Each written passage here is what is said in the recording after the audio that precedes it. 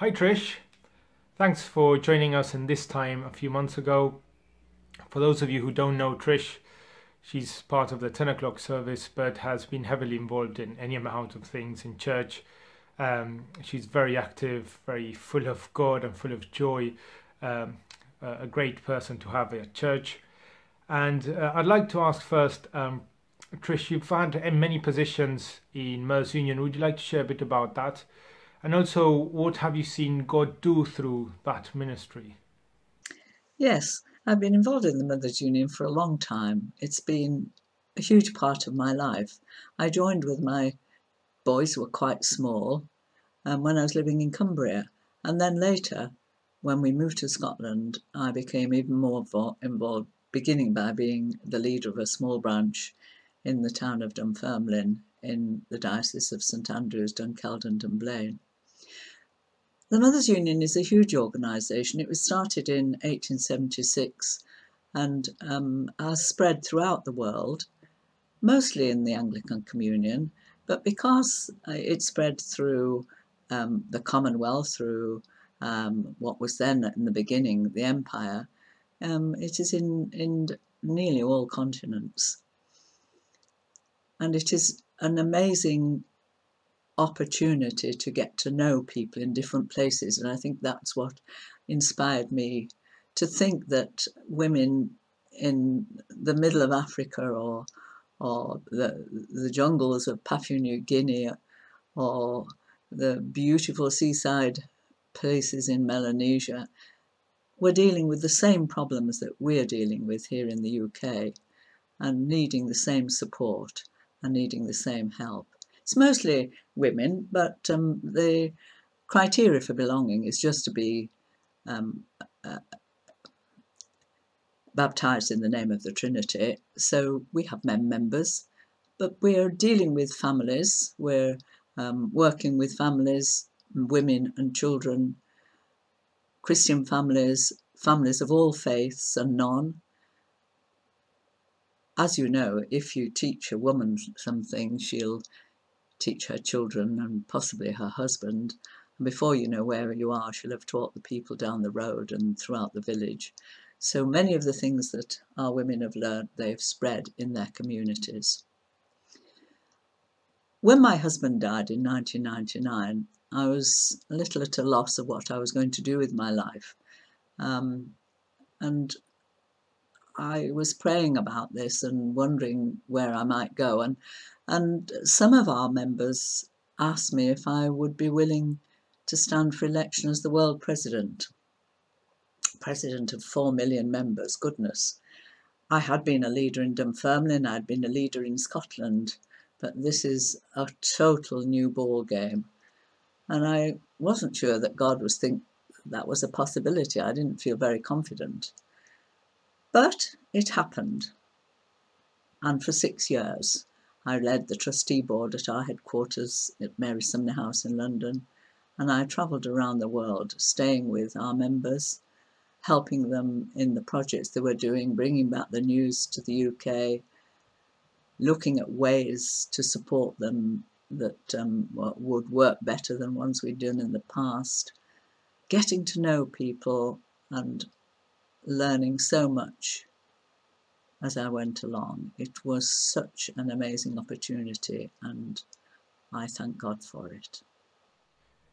It was great for me to hear a few years ago about what uh, Mothers Union was doing in, in prisons. And would you like to share a bit of what you've done in prisons with Mothers Union? Yes, prisons. Yes, the Mothers Union works in prisons all over the world. Um, in fact, we've got several members from here in Ashtead who are working in our local prisoners prisons here in Surrey. Some of them are doing a creche in um, a men's prison. Others are doing parenting courses.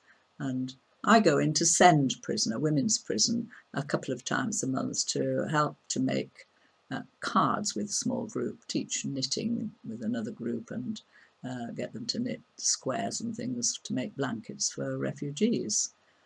That's a good thing to do. I enjoy doing that. And mothers work in prison all over this country and in other parts of the world where very often they have to take in little luxuries like soap and sometimes even food and clothes, where prisons are not quite as good as the prisons are here. Uh, that's something that happens in many places. And we are now in a very strange time with the whole social distancing, lockdown. Uh, would you like to share something that you are doing that nourishes your faith uh, during these difficult times? We do live in strange times at the moment, and spiritually, it's been completely different in many ways. Of course, we still continue, or I still continue my normal things, but the things that I could do, like coming to church, are not there. Meeting my friends, they're not there. Going to groups, they're not there.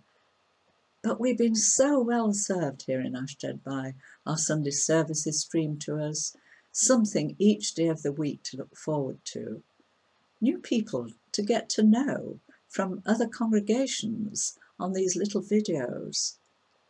It's been really good.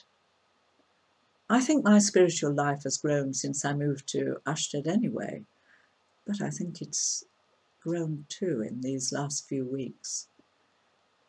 For Michael and I, there have been very special times. Of course, there have been difficulties, but we are very blessed in that uh, we're looked after by our family and by our local shops.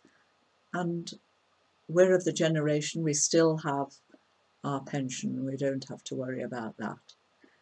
So I think for us, it has been in some ways a very special time.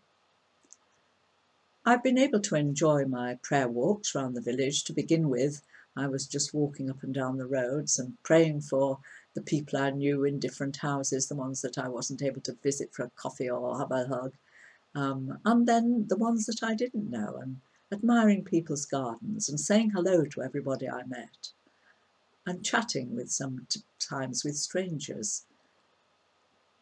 That has been really quite special.